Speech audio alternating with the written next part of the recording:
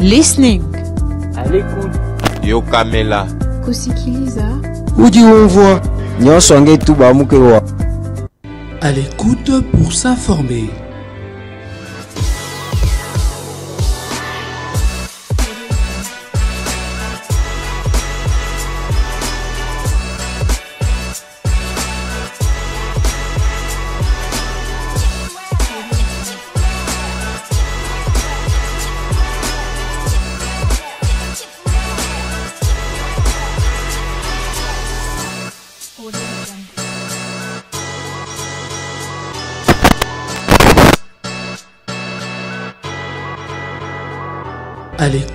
Pour s'informer.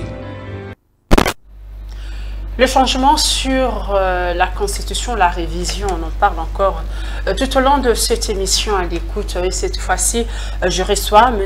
Évariste Kalala Kouité, qui est secrétaire national en charge de la justice et droits humains de l'Union pour la démocratie et le progrès social. Avec lui, nous allons échanger sur cette question dont sa formation politique a déjà pris position pas de révision de la Constitution, mais le changement de la Constitution. L'annonce a été faite hier par le secrétaire général de l'UDPS, Augustin Kabouya, lors d'une matinée politique. Bonsoir, Monsieur Evariste. Bonsoir, Madame. Bienvenue. Merci. À l'écoute. C'est un plaisir d'être là.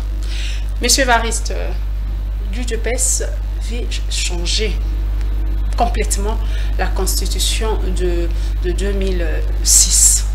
Mais il y a, devant vous, il y a une opposition qui dit non à cela. Est-ce que vous allez arriver à entendre ce que euh, le secrétaire général du parti a dit hier? L'UDPS arrivera, ou bien le régime Tshisekedi arrivera-t-il à changer la constitution?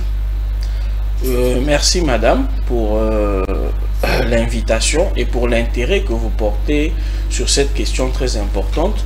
Je pense que euh, nous avons été très clairs sur notre démarche. Il n'y aura rien de dictatorial. L'UDPS ne peut que porter le projet et bien évidemment euh, toutes les idées euh, que, que doit véhiculer la nouvelle constitution. Et nous nous adresserons bien entendu au souverain primaire qui est le peuple. Ça. Est-ce que, la démar... opposition... Est que vous pensez que cette démarche sera aussi facile parce que l'opposition vous dit euh, non? L'opposition estime que vous êtes une nostalgie de la, de la dictature de 32 ans de, du régime euh, de Mobutu. Voilà pourquoi l'UDPS veut s'éterniser au pouvoir en voulant euh, carrément changer cette constitution qui vous a permis aujourd'hui d'être au pouvoir. Mais non, il n'y a que quelques retardataires qui accordent encore du crédit à cette opposition parce que euh, 80%, de, de, si pas 100% de cette euh, fameuse opposition était pour euh, modifier cette constitution. Et on ne modifie pas quelque chose qu'ils trouvent bon. Donc je suis euh, d'avis qu'il faut qu'ils attendent justement le bon moment pour euh, voir ce qu'il pèse sur la balance en, en, appelant le peuple à voter contre le, le, le changement de constitution. Vous n'avez pas peur de l'opposition aujourd'hui lorsqu'on voit le FCC qui était jadis partenaire de l'UDPS au, au début du mandat du président Félix Tshisekedi aujourd'hui, le FCC qui se range, qui forme bloc avec les autres formations de l'opposition pour empêcher l'UDPS à toucher à la constitution. Vous n'avez pas peur? Non, nous ne craignons rien. Nous sommes, nous, nous, tout ce que nous faisons, nous ne le faisons pas pour nous-mêmes. Mais qu'est-ce qui vous rassure Nous le faisons, s'il vous plaît, madame. Tout ce que nous faisons, nous le faisons pour ce peuple qui a tant souffert.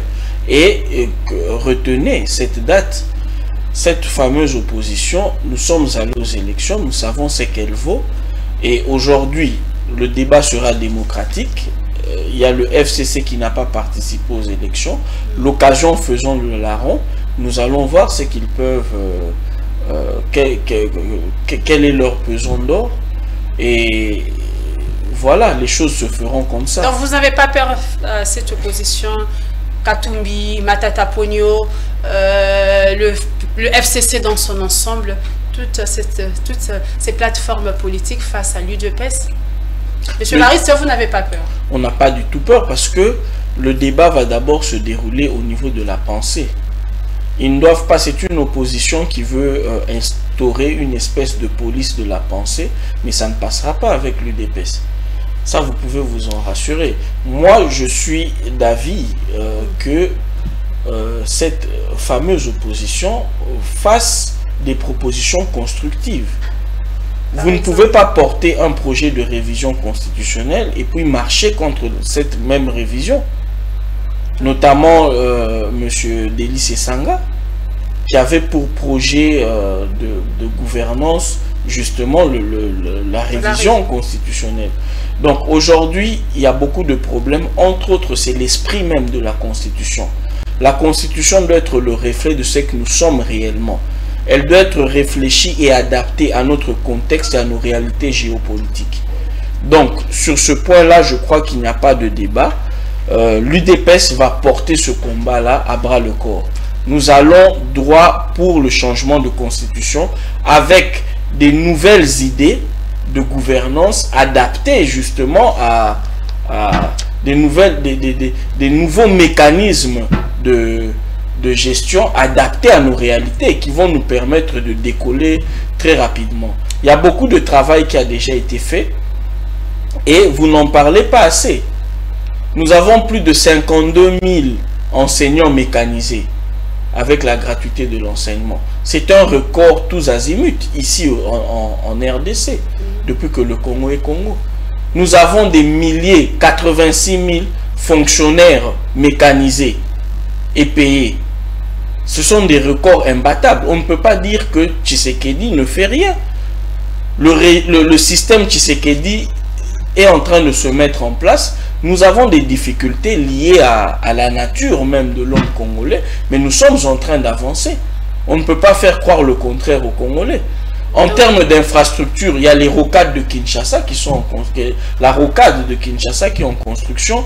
Sur les 18 ans, le régime passé avait jeté à peine euh, euh, 8 ou 6 ponts. Mais vous pensez en que 18 le, ans, nous avons, nous, sociale de nous sommes en train, s'il vous plaît, mais laissez-moi terminer. Nous sommes en train d'atteindre presque 32 ponts. 32 ponts en moins de, en moins de, de en moins de 7 ans.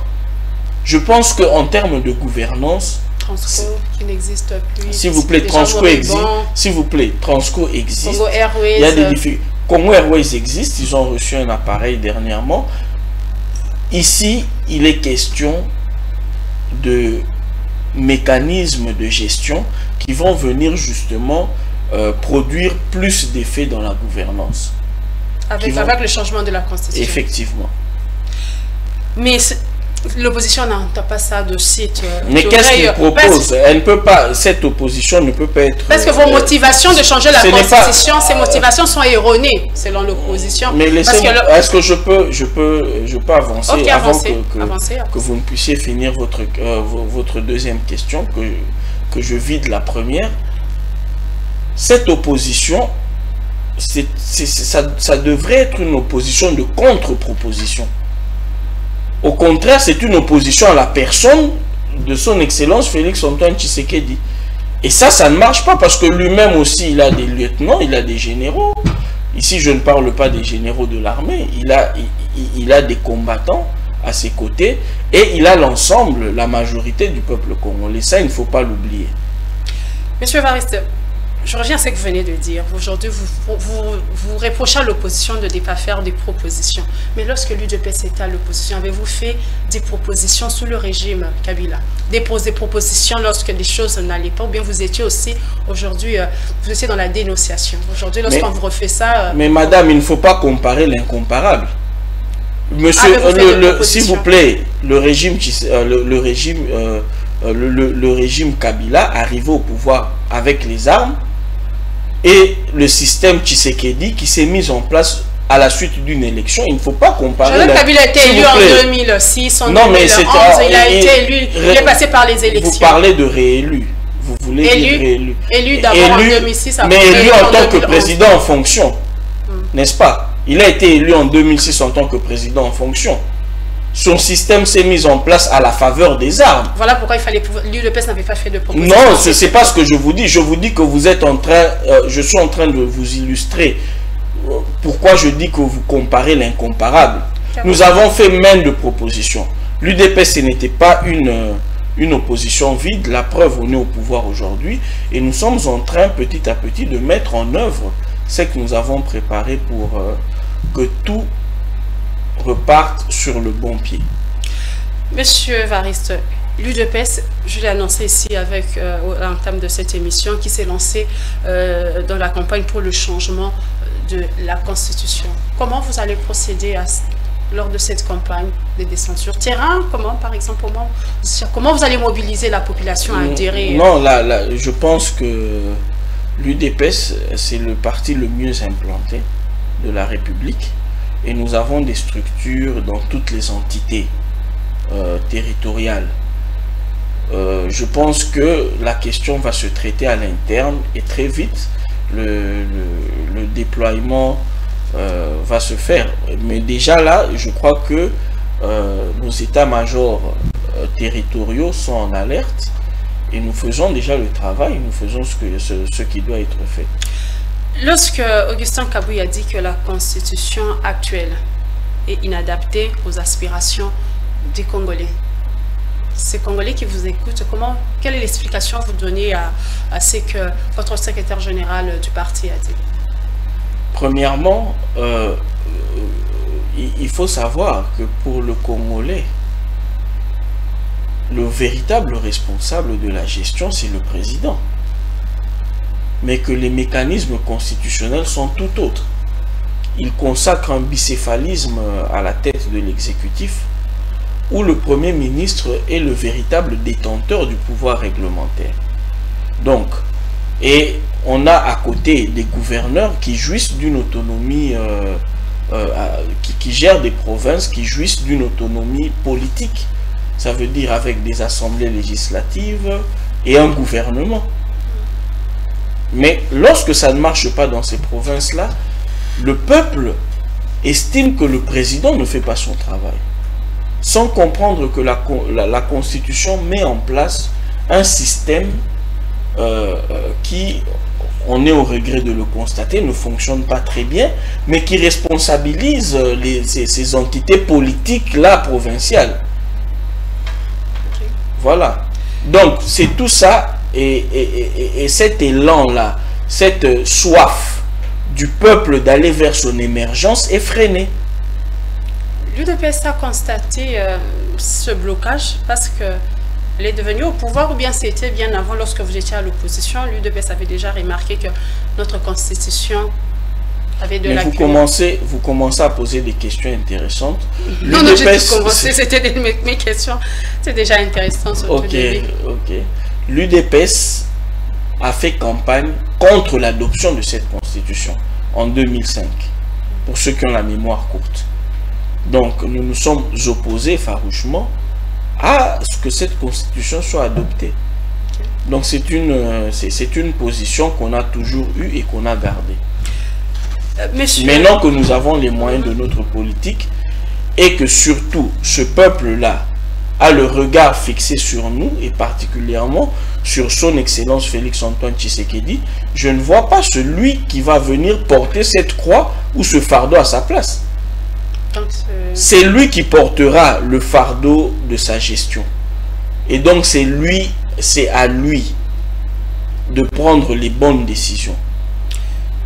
Monsieur Évariste, avec euh, ce changement de la Constitution que l'UDPS euh, souhaite euh, entamer, il y a eu un débat sur l'article 217 de la Constitution.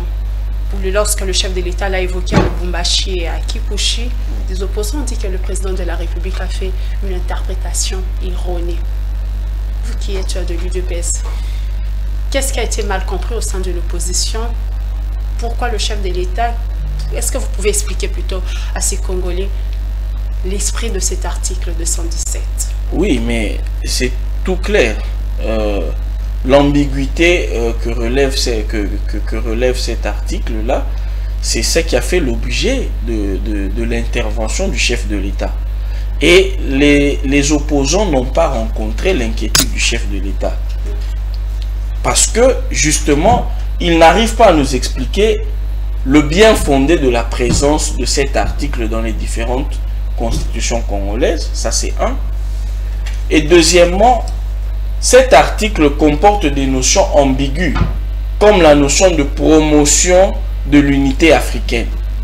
Qu'est-ce que nous devons comprendre? Qu'est-ce qui est promotion de l'unité africaine?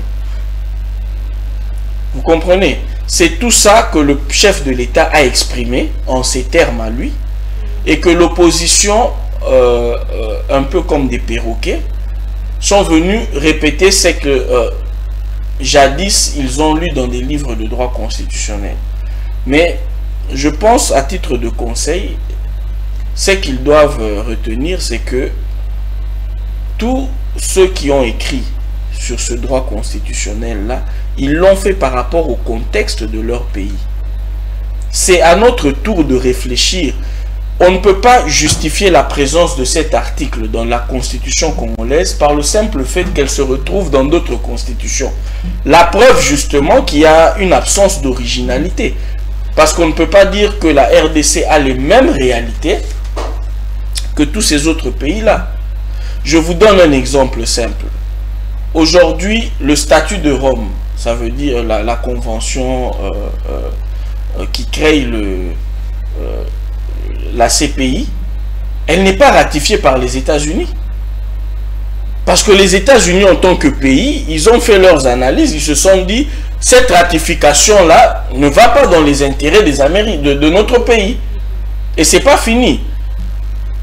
Tous les traités contre le, le, piratage, la contrefaçon, la Chine n'a pas ratifié. La Chine refuse de ratifier parce qu'ils estiment, en tant qu'État, ils ne vont pas ratifier parce que les autres ratifient. Ils réfléchissent par rapport à leur contexte et ils trouvent que c'est inopportun ou contre leurs intérêts. Ils, n'y adhèrent pas. Ici, nous avons euh, affaire à des intellectuels qui se sont, qui sont, oui, qui ont vraiment une capacité de mémoire incroyable parce qu'ils retiennent tout ce qu'on leur a enseigné tel qu'ils l'ont pris et malheureusement ne vont pas au-delà en essayant de réfléchir sur les véritables problèmes congolais dans le contexte congolais. Monsieur Varista, pourquoi l'UDPS n'attend pas que la commission euh, qu'a annoncé le chef de l'État se mette en place pour réfléchir sur, oui, pour une révision ou pour un changement de la Constitution Vous allez trop vite en besogne. Entre-temps, le chef de l'État a promis cela pour 2025. Vous faites la pression au président de la République? Pas du tout. Je pense que l'UDPS elle-même sera représentée dans cette, euh, euh, fameuse commission et qu'il est de bonne loi que nous ayons une position. Vous ne pouvez pas euh, autoriser ou vous ne pouvez pas permettre à l'opposition d'ores et déjà d'avoir une position lorsque la réflexion avait simplement été initiée et refuser à l'UDPS le droit d'avoir une position. Mais non, là. Mais pourquoi vous avez souhaité le changement? Pourquoi ne pas avoir une position pour la révision? Parce que le sujet... Je vous ai dit, parce que nous estimons que la Constitution, c'est un tout. Et que ce tout-là ne correspond pas aux réalités euh, de, de, notre société, de notre, de, de notre pays, de notre culture, de notre peuple, de notre passé constitutionnel, de notre passé parlementaire. Il faut carrément oui, il faut pas la modifier. Il faut une constitution euh, qui sera vraiment adaptée à nos réalités et surtout, pour ceux qui croient à la subtilité des choses, il faudrait un texte qui soit l'émanation de notre identité nationale.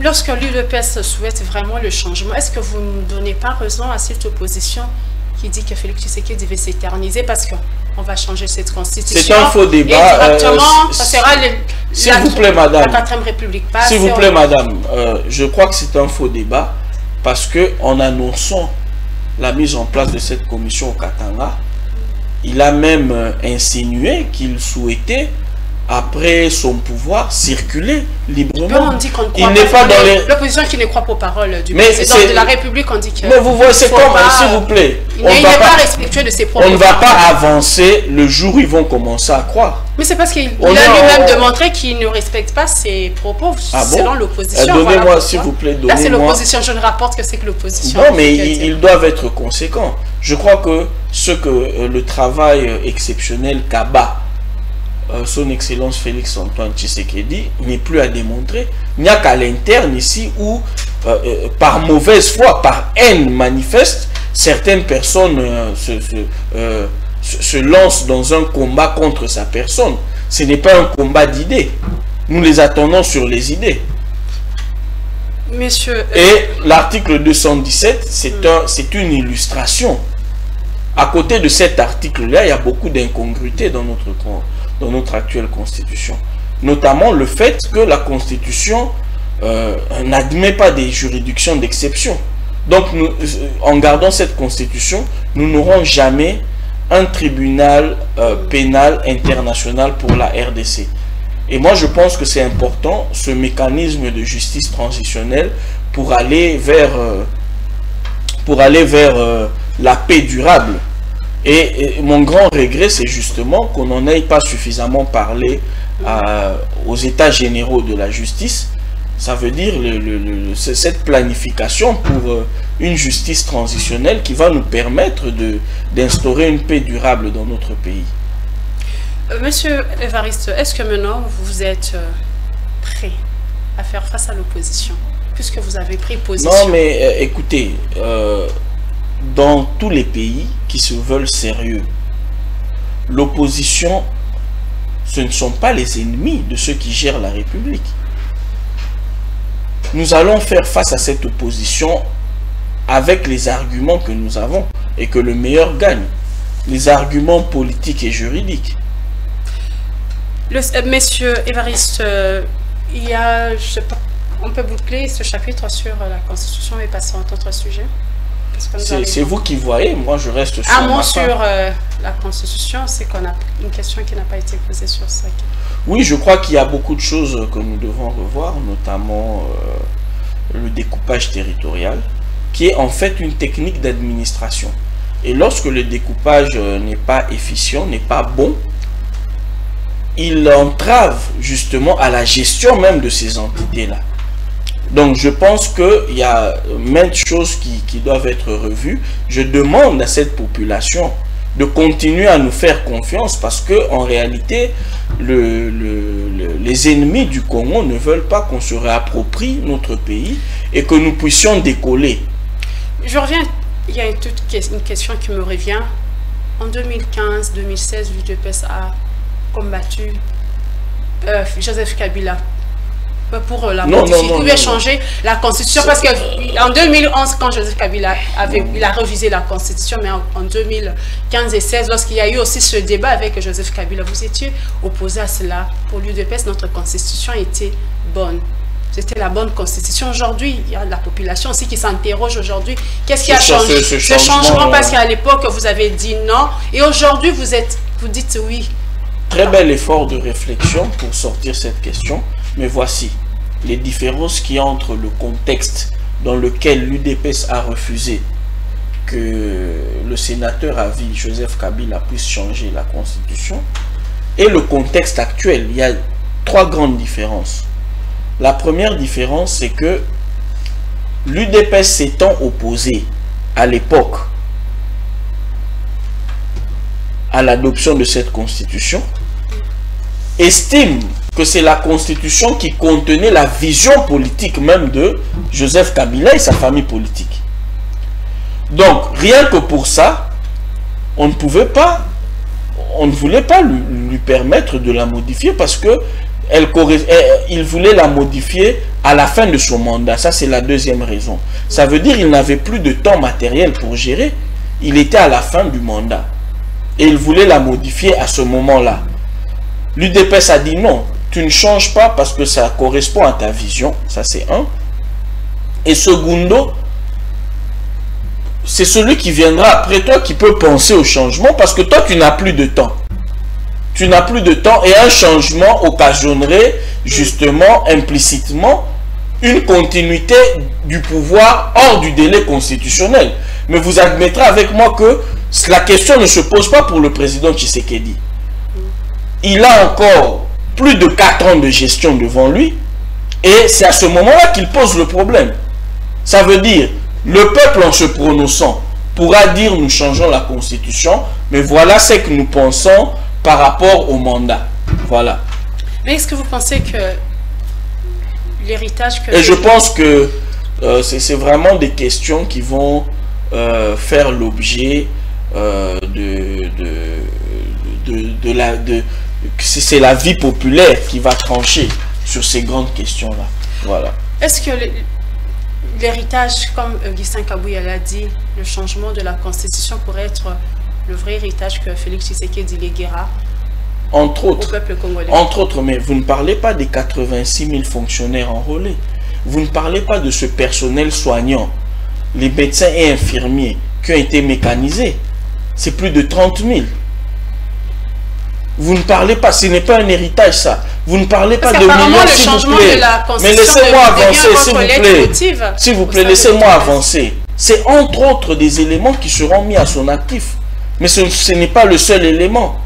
Savez-vous combien de, de combien d'enfants ont accès à, à l'éducation Avec grâce... conditions Non, mais partout au monde, les réformes commencent comme elles commencent et elles s'améliorent.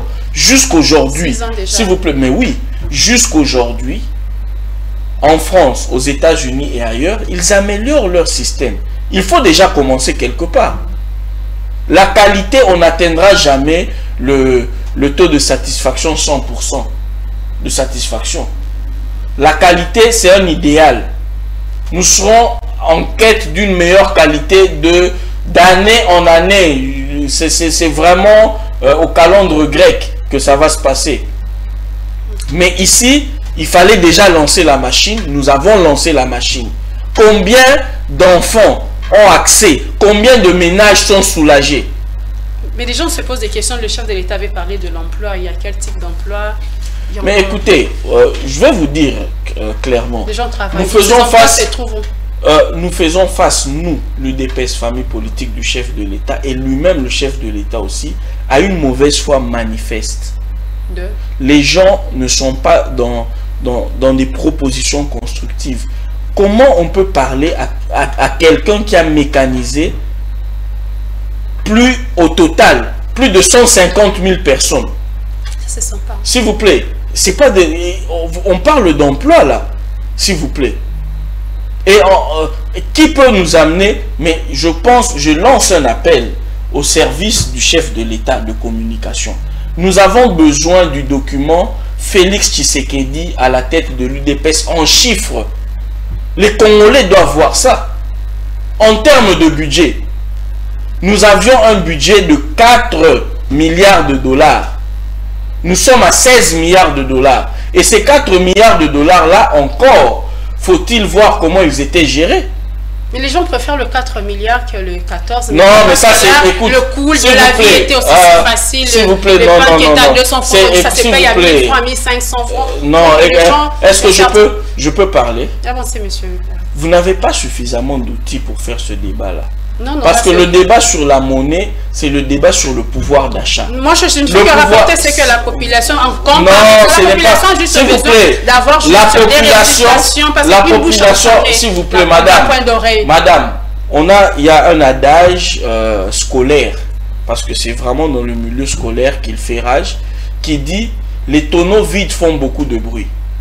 Et ta femme aussi n'a pas d'oreille. Mais écoutez, s'il vous plaît les tonneaux vides font beaucoup de bruit. Ça veut dire quoi?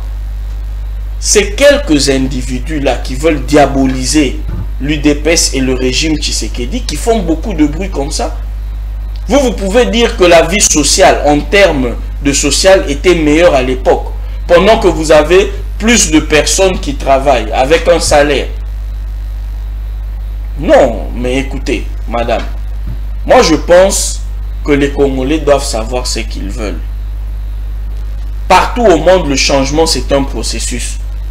les choses sont en train de se faire et de se mettre en place. changement que l'UDPS ne sait ce que vous ne cessez que de parler, mais sur terrain, c'est ce que la population. Oui, vous promettez le changement, mais sur terrain, Non, on- ça ne euh, se sent pas. Ça, c'est ce changement qui ne se sent euh, pas. euh, oui, Madame Jaël, le changement, il ne peut pas se faire ressentir du coup après six ans.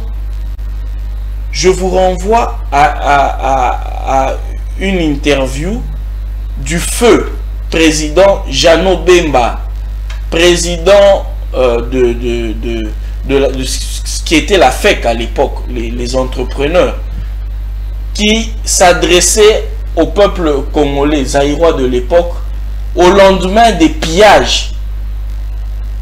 Il a dit ceci, nous venons de détruire le, le tissu économique et les conséquences, c'est demain.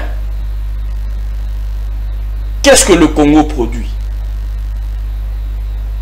Moi, je pense qu'en six ans, le président a fait ce qu'il a pu faire pour améliorer le climat, pour attirer euh, les, investisseurs. Maintenant, la question serait de savoir est-ce que c'est suffisant? Non. Même nous-mêmes, même lui-même, le président, il reste sur sa faim, malgré qu'il a fait beaucoup de choses. Et c'est pas parce que nous-mêmes nous sommes sur notre faim que vous allez nous mettre sur le dos et que nous allons accepter vos fallacieuses euh, euh, prétentions qui disent que nous n'avons rien fait pour ce peuple ou que les choses sont en train de s'empirer. Non. Aujourd'hui, nous avons euh, un président congolais à l'écoute du Congolais. Et dont l'amour pour le Congo et le Congolais n'est plus à démontrer. Ce n'est plus à démontrer. Les pays qui regardent le Congo de l'extérieur nous envient. À cause du président que nous avons. pour les actes qu'il a posés. À cause du président que nous avons. De À la cause personne de- ou bien à cause de sa gestion, ils aiment le Congo. Mais justement, euh, sa personne, qu'est- qu'est-ce qu'ils en savent dans les détails? C'est justement à cause de la manière dont il fait les choses pour ce pays, pour ce peuple. Je vais vous dire, nous sommes, l'UDPS est dans la position d'une maman qui doit laver son bébé et son bébé est en train de pleurer. Est-ce qu'elle doit arrêter, elle- elle- elle doit renoncer à le laver? Moi, je pense que cette opposition-là, elle va faire face à nos arguments, tant juridiques que politiques. Et au-delà de ça, je pense qu'il faut être très réfléchi sur cette question. Parce que je ne vois pas une coalition arriver au pouvoir et gérer en arriver à gérer ce pays en opposition farouche avec le DPS. Je pense que tout, tout est dit et que nous devons, opposition comme pouvoir, composer. Nous devons composer parce que nous sommes engagés politiquement dans cet apostolat. Nous sommes engagés justement pour servir ce peuple. Nous devons avoir un dénominateur commun. Tu ne peux pas être d'accord pour modifier la constitution quand c'est toi qui la modifie. Et quand l'autre veut faire la même chose, tu cries au scandale. Là, c'est votre point de vue, l'opposition qui s'est catégoriquement opposée à cette démarche, mais nous arrivons à la fin euh, de Mais en cette 2011, émission. en 2011, euh, euh, le FCC d'aujourd'hui avait, avait à l'époque modifié la constitution. Nous quittions une élection à suffrage direct à un tour, à, à deux tours, pardon, pour un tour. C'est une fraude à la constitution. Parce que ça dénaturait même l'essence de cet exercice électoral-là institué par la constitution. Donc, vous suivez les questions. Oui, parce que quelqu'un qui a une légitimité de 12% peut gérer la République. Nous arrivons à la fin de cette émission, Monsieur Evariste. Votre mot de la fin. Euh, nakosepela naloba na lingala nazoloba na bandeko na biso bakongole eloko oyo eleki unité eza te mboka na biso eza ya biso komba oyo tozali nango eza komba ya réappropriation ya mboka na biso. Tozala na mibeko oyo ekokani na lolenge biso tozali. Na lolenge mboka na biso ezaleli. Yango nde ezali ebandeli ya kotonga bonheur na biso. Baoyo bazotuna eske yango nde epekisi banzela yango nde epekisi nini? Il faut boyeba. Toza lokola bana oyo bahéritier tata na bango atikeli bango buka lupangu. Bandeko mosusu bazoloba eloko eza motuya eza korécupere buka lupangu te. L'essentiel biso tozwaka mbongo ya balocataire biso idps tolobi tozwa buka lupangu tozala nango na maboko epuis tokontinue mpe kozwa mbongo ya balocataire mpo tokati mpe kozwa mbongo ya balocataire te tokati mpe kosalela peuple congolais mosala te rocade ya kinshasa ezosalama. Hein?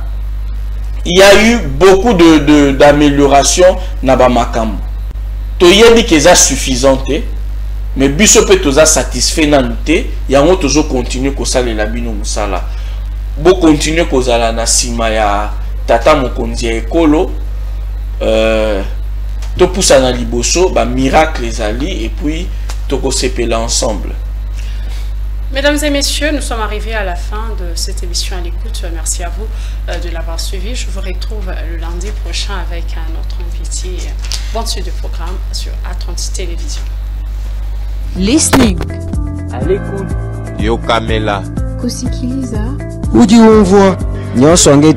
wa À l'écoute pour s'informer.